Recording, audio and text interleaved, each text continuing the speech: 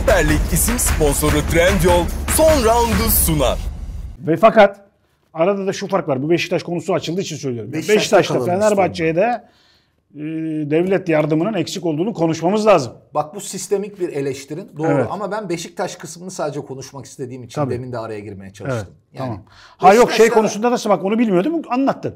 Madem böyle anlatıyorsunuz. E abi çok- Attınız mı mangalda külü bırakmıyorsunuz. Gidin halledin diyorsun. Doğru söylüyorsun. E ben onu söylüyorum tamam, abi. doğru, haklısın. Onda da sen haklısın. Ben araya girmeye çalıştım o Serdar'cığım. Valla özür dilerim senden. Estağfurullah yok yok Yanlış yok yok. yok. Benim Hayır tek hayır. derdim, Ez- özür bir şey yok. Abi bize anlatıyorsunuz bunu. Benim böyle Ankara'yla bağlantım. Ben mesela bak bunu bilmiyordum bak. Bunu Mesela bilmiyordum. O zaman E abi Osman o yapın abi. Şimdi iki. Ne anlatıyordum ben? Fikret Orman bunları söylemesine rağmen yine o dönem ne oldu? Abi Vodafone sana sponsor oldu yeni stada. Uluslararası bir firma oldu. Yine abi uluslararası bir firma geldi. Mart ayında, Nisan ayında. Onları bitirseydin. Benim en sevdiğim yatırımcı modeli insanlar. Koreliler. Evet. Sen şimdi Koreli'ye mi yatırım yaparsın 2023 yılında? Rus'a mı yaparsın? Evet. Sen hangisiyle çalışırsın? Kulüp yöneticisi olsan. Ben Rus'la mı? Arap'la ben mı? Koreli ile çalışırım. Koreli ile mi? Fark etmez hangisi daha iyiyse onunla çalışırım. Aradaki fark Ama nerede? Koreli ile çalışmayı en tercih yüksek ederim. parayı verenle mi çalışırsın yoksa daha az para vermesine rağmen mi Koreli ile mi çalışırsın? En yüksek parayı verenle çalışırım ben. Emin misin? Ben liberalim abi. Ben en yüksek parayı Ben veren- liberal değilim işte ben böyle sosyal demokratım. Ben Evet. üstelik kulübün başkanı olarak ya da kulübün yöneticisi olarak bu kulübü elbet iktidarını başkanına devredeceğim. Evet. İyi bir şey devretmem gerekiyor.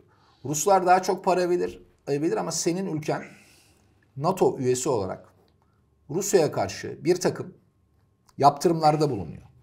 Yine bizimkiler hani bizim e, ülkeyi yönetenler yine Rusya ile NATO arasında bir denge İyi iyi kurmaya biz çalışıyor. iyiyiz. Şey iyiyiz biz gayet iyiyiz. Ama kulüp olarak sen bunu yapamazsın uzun vadeli. Çok riskli bir iş. Bak niye? Nitekim onu da yapamadın zaten abi. Abi Abramovich meselesini hatırlayalım.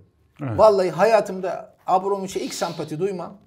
Adam şu Rusya-Ukrayna savaşını engellemek için her şeyi yapmasına rağmen sırf adam Rusya vatandaşı diye bir günde Chelsea'deki bütün şeyini bitirdiler. Çok büyük bir hatadır o. Yaptıkları çok büyük adilik Abramovich. Aynen öyledir. Ben öyle düşünüyorum. Tabii ki öyledir. Demek ki sen de bunu Hiçbir- hayli hayli yapabilirler. Hiçbir liberal hiçbir liberal kurala da uymaz. Vay, liberalizmin çelişkilerini sana Tabii. söyletmek çok hoşuma gitti. Hele Olmaz. Bu İngiliz liberalizm, çelişkileri. bu liberalizmin liberalizme tam aykırı bir şeydir. Olmaz yani. Yanlış, yanlış bir şey. Bizde bak bir de şu var abi. Koreli 50 yıldır 60 yıldır senin piyasaya geliyor mu? Geliyor. İşte Kore Savaşı, Türk dostluğu, 2002 bilmem ne falan. Her zaman çok iyi iş görüyor. Abi Kore, Rus, Türk, Arap fark etmez. Hani sponsor? Ha, ben de onu söylüyorum. Niye yapmadın abi Kore'yle?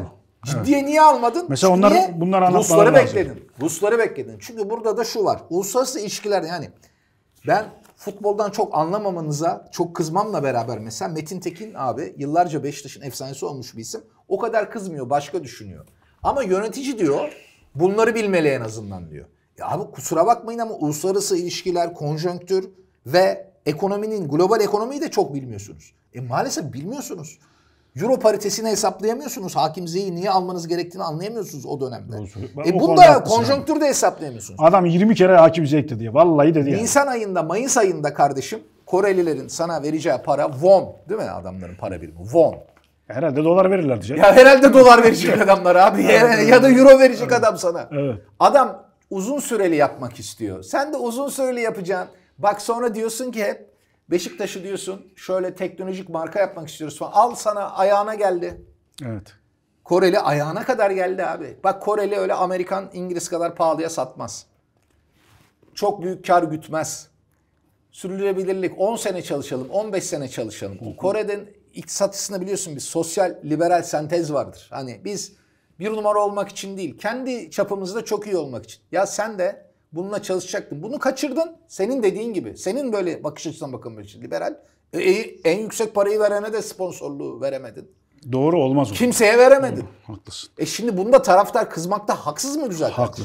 Ayrıca para sana Haziran, Temmuz'da gerekiyordu sıcak para. Niye? Kadroyu daha akıllıca güçlendirebilmen için. Sen hiç birinci tercihini alamadın. Birinci tercihini hiç alamadın. Sen nasıl gelişti son günlerde? Elbedi ile görüştük olmadı. Birinci tercihin değildi Bailey. Sırf David Luiz o kadar kötü bir transfer opsiyonu ki. Haklı olarak bütün Beşiktaşlar saçmalamayın dedi diye Bailey'i aldın. İyi ki almışlar ama. E tabii canım iyi ki almışlar. David Luiz'e Bailey'i almışlar. İyi ki de. Tabii. Senin birinci tercihin o değildi. Kendi ağızlarıyla söylemediler mi? Önce Elvedi ile. Beşiktaş konusunda. Birinci tercih kimdi senin böyle? Tadic diye. Tabii. Fenerbahçe aldı sen yine birinci tercihini alamadın. Doğru. Birinci tercihin kimdi senin? Alex Oxlade-Chamberlain değildi. Birinci tercih bu kadar geç gelmez zaten. Doğru. Benim söylemek istediğim bu. Doğru. Yani böyle para Ayrıca de ayrıca başarısızsın abi. transferde korkunç savrulmalar yaşandılar. Şimdi Bailey'i alıp Lianco'yu almamak bana göre saçmalık. Çok büyük çelişki değil mi? Çok büyük çelişki. Dolayısıyla bu, bu sene iyi kurulamadı şey. O bir yapı yapı iyi kurulamadı. Ee, geçelim saha içine.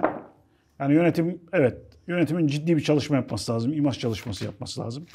Geçelim saha içine. Saha içinde Beşiktaş ikinci yarıda Kayseri Spor'a neredeyse hiç şans tanımadı. Hiç Fenerbahçe gibi 47-72 pozisyon da arası. vermedi. Ee, çok rahat bir galibiyet aldı gibi yani. 3'ü 4'e de giderdi. Yok. Çok gol- Yo, sonradan çok rahat goller kaçırdılar ya. 76'da Mert Günok'un kurtarışı. Nerede Herhangi abi? bir kaleci yerdi onu. Abi çok iyi kurtarış 76 dakikada.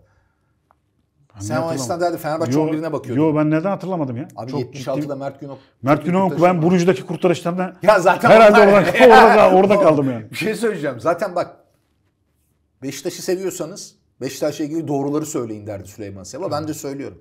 Kalede Mert Günok değil alelade bir kaleci olsaydı orada 4-1 yenilmiştin. Tabii. Ya 4-0 yenilmiştin hatta. Halin de kalmazdı. Tabii. Abi olağanüstü performans. Evet. Ha grupta sen gerçekten en zorlu rakibe karşı deplasman puan aldın. Bir puan aldık, Mert tabii. Günok sayesinde öp başına koy. Tabii. Şimdi kalanında sen bu Avrupa Kupası maçlarına kalanında mümkün olduğu kadar Türkiye'de yabancı sınırına takılıp oynatamadığın, kadroyu yanlış planladığın için. Ya Rebic yedeğin yedeği konumundaydı ya. Bak. Sol önde kim başladı abi? Cenk. Cenk. Onun önceki maç.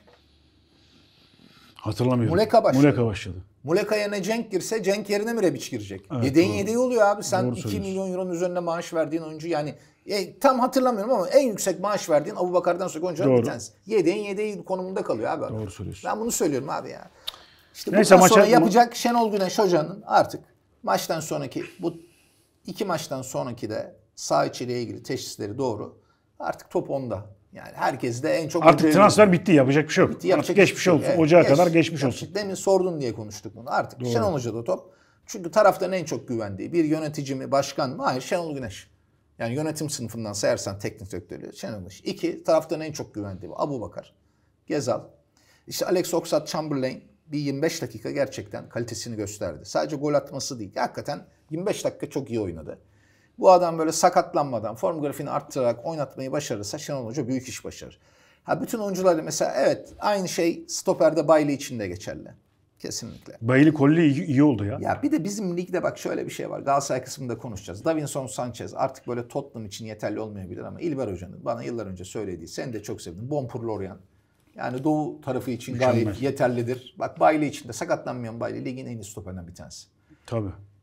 Bu Bailey'nin çok iyi Yo, stoper Bailey- olduğunu göstermez. Bailey Coley çok iyi ikili oldu ya. Bak bir şey söyleyeceğim sana. Davinson Sanchez belki bir Arsenal Tottenham derbisinde oynasaydı belki hata yapıp gol yemesine sebep olacaktı. Peki ben en bu sene ilk defa görüyorum. Bak Icardi hala ligin kralı. Doğru. Kopenhag Son bir- maçında o çok mu iyi stoperleri? Hayır ama fizik kalite denen bir şey var. Evet. Bailey'nin falan Alex Oxlade'ın sakatlıklar nedeniyle fizik kalite eksiği vardı. Senin ligde öyle. Sana seninki son bir şey sorayım, Beşiktaş'ı değil. Bak, kapatayım. Bir şey söyleyeceğim. Böyle didiş kapışma oyunu oynanıyor ya bizde. Herkes diyor ki fiziksel açıdan çok zor. Fiziksel açıdan zor falan değil. Böyle dar alan didişmesi Evet. ne girmek istemeyen için çok zor o kadar yani. Bu sene olmadığı kadar Şenol Güneş eleştirisi görüyorum benim bana gelen mesajlardan. Sen bu konuda ne düşünüyorsun? Daha iyisini bekliyorlar. Ha güzel. Tamam. Olabilir. Ama çelişki şurada. Bir takımda en fazla bak. Aras Özbiliz geldiği zaman ne kadar hatalı bir transferdi değil mi? Bonservis bedeli, yabancı sayılması falan. Herkesin söylediği Şenol Güneş onu da Volkan Şen gibi dönüştürür. Şimdi bu bir teknik direktör bir sezonda en fazla iki ya da üç oyuncuda bu değişimi yapabilir.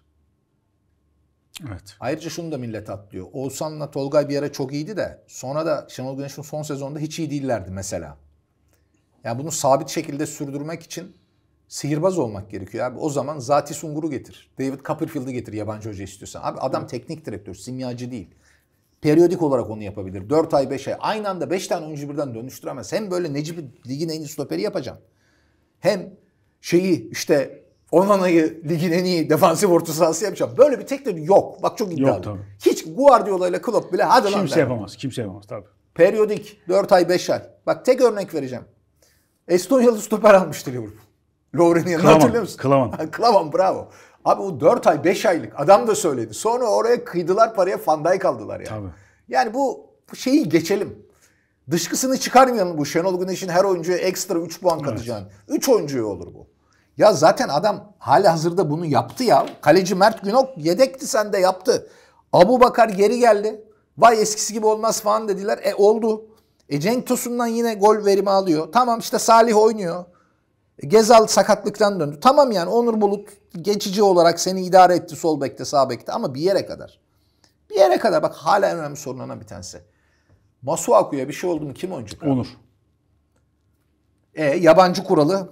Gel geçelim Abdülkerim'e. Yani ben sana söyleyeyim bence de Abdülkerim'e geçelim ya. Bak yabancı kuralı Gel Abdülkerim'e geçelim. Abdülkerim'e geçelim. Niye Abdülkerim'i geçen sene alan şampiyonlukta bir adım öne geçer diyordum. Anlatmaya çalışıyordum. Sol bek oynar diyordun, milli takımda da diyordun. Milli takımda zaten sol bek oynatmamak Oynamak çok mı? büyük hata diyordum. O işte Kuntz'un başını öyle yediler işte. Yok be abi. Kuntz kendi başını öyle yedi işte. Kuntz kendi başına öyleydi yani. Çok büyük hata abi. Cenk Özkaçan'ın oynadığı yerde Abdülkerim'i düşünmemek bile çok büyük hata yani. Aynen Bak öyle. Valencia'nın hocası Baraha derdi ki Abdülkerim bir haftalığına gelsin bizde sol bek oynasın. Ben yine Cenk Özkaçan'ı sol bek oynatmam. maşallah diyorum. Geçtik Galatasaray'a. Süper Lig isim sponsoru Trendyol son roundu sundu.